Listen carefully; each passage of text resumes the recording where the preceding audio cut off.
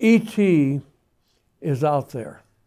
Um, there just has to be in that uh, 100 million star system uh, galaxy that we belong, we, uh, we part of, in, we dwell in.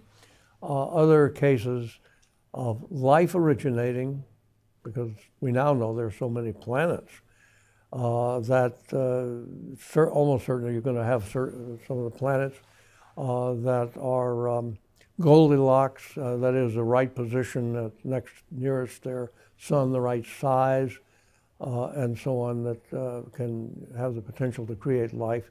And of those, it seems, and we don't have any basis for this except intuition, that given enough millions of years, in our case, we had half a billion years uh, since life came on the land uh, to um, produce a uh, human grade eusocial species.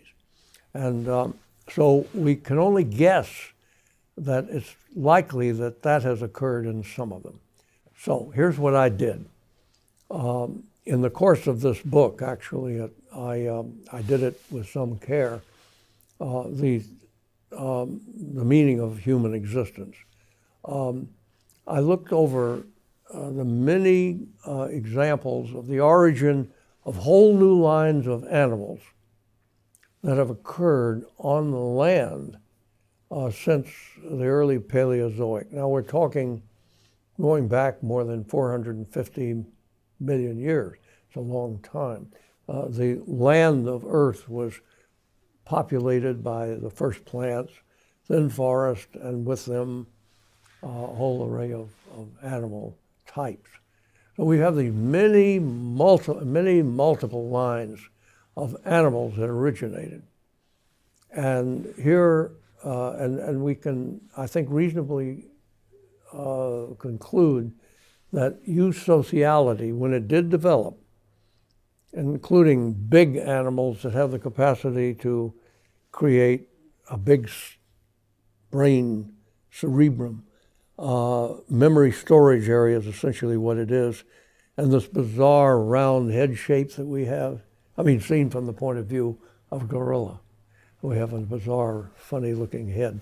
Um, that um, here is what um, they all have in common. Now I'm talking empirical information. First, have to be on the land. Can't develop advanced uh, societies and anything like uh, civilization, which in humans goes back uh, a couple hundred thousand years. Well, why not? Why no marine, freshwater creatures? Because they don't have fire.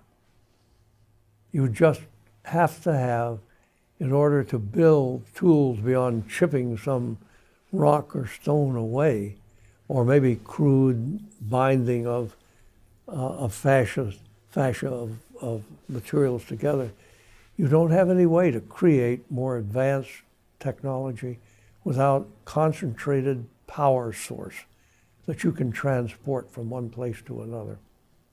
ET I'm now drawing this again from the record of multiple origins of animal lines on Earth. ET uh, has got a head, and the head's up front, and the head contains the central organizing centers for all of the senses that are spread out through the body. Uh, ET has got a small number of limbs, multiple, maybe six, who, who knows, maybe eight, like a, like a spider uh, but uh, not that many, relatively few. And ET uh, has on these limbs fingers or, or tentacles, something with strength and flexibility that are free. You see, that's what uh, that was a prerequisite that we had when we stepped out of the trees. Our ancestors did five million years, years or so ago. The earliest known Australopith pre-human uh, already was walking on hind legs. That was just an adaptation it had. And one of the consequences of freeing the front uh, legs is that now you have organs that can be modified to manipulate, but there's more.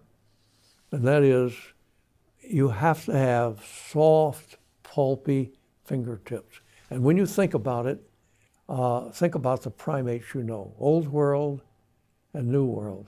That's a primate trait soft, pulpy fingertips. Because you need those to manipulate finely. In, the, in our ancestors' case, and all the primates that are arboreal and so on, you need to be able to manipulate bits of food, you know, like plucking free a piece of fruit, plucking seeds out of a fruit, uh, taking a flower and opening it and eating it and so on. Um, so that's, that's another trait of ET. And I would admonish script writers for Hollywood films that have space and alien monsters invading Earth, don't give them claws. Uh, claws are for carnivores. And, car- and you've got to be an omnivore to be an ET. There just isn't enough energy available in, in the next trophic level down to maintain big populations and stable populations that can evolve civilization. That was a bit of a stretch, but I feel confident about that. Claws, or no, for that's for carnivores. ET is big, not big elephant size, adjusted for gravity. You know, if you have a very light gravity uh, in a small, uh, smaller planet, or uh, uh, you would be um, able to get a gigantic animal that's very mobile.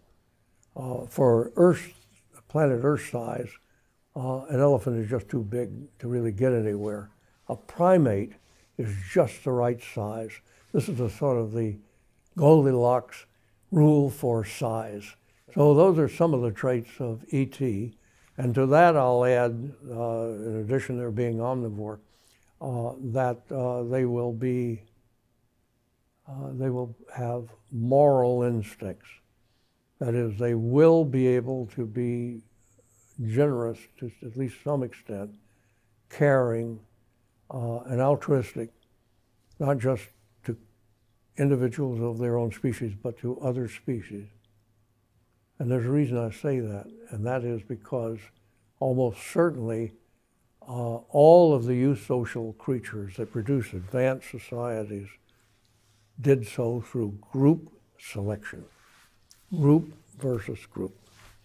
When you have groups competing with groups and driving, helping drive the social instinct, instincts by the Darwinian superiority of cooperation within the group, uh, then you have the capacity for a moral system within the group and then eventually between groups under certain circumstances, but not nearly as strong between groups as it is within groups. Um, that, I think, is a statement of the prevailing theory of the origin of morality in human beings.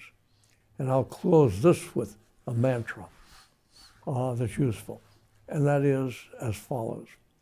Within a group, selfish individuals beat uh, altruistic individuals. If you have both, you know, genetic propensity, uh, those who have a genetic propensity toward selfishness uh, versus those that have capacity for altruism and more cooperative behavior within the group, the selfish ones prevail over the altruistic ones.